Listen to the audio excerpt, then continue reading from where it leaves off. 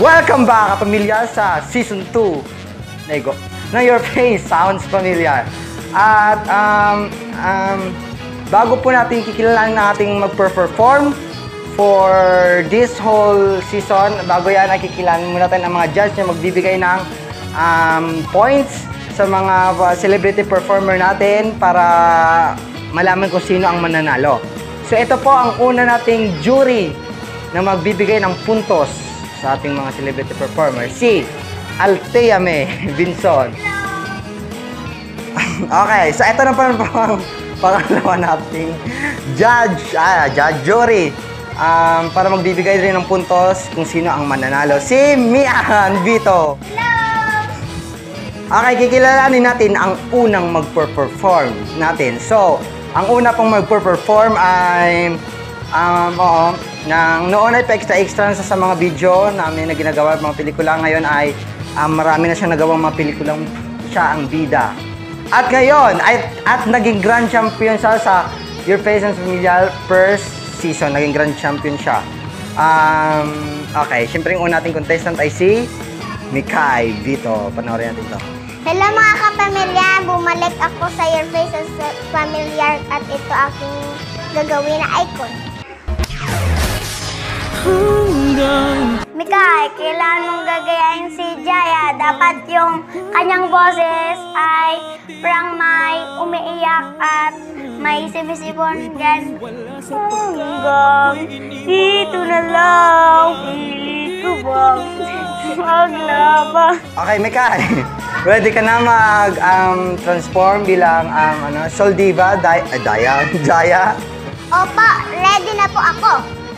Okay, pumasok ka na sa ating iconizer. Magpaalam po muna tayo kay Mikay at i-welcome natin ang the, ay, the Soul, the Queen of Soul Diva, is Jaya.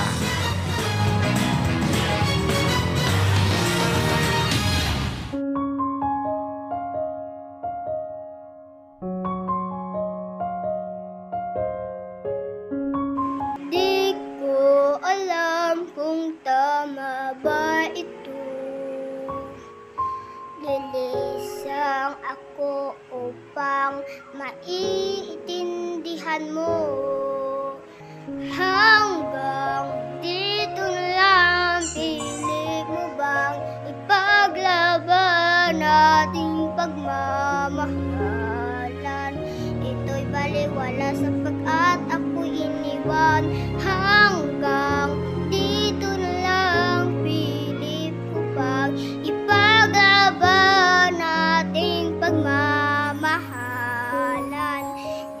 Ito'y baliwala sapagkat ako'y iniwan Malaya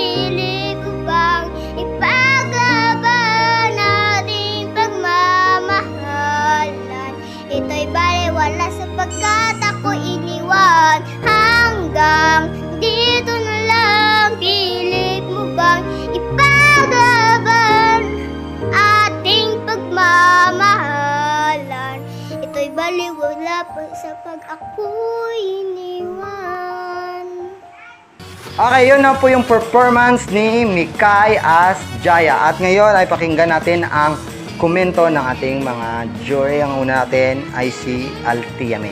Maganda naman ang boses mo at sana manalo ka.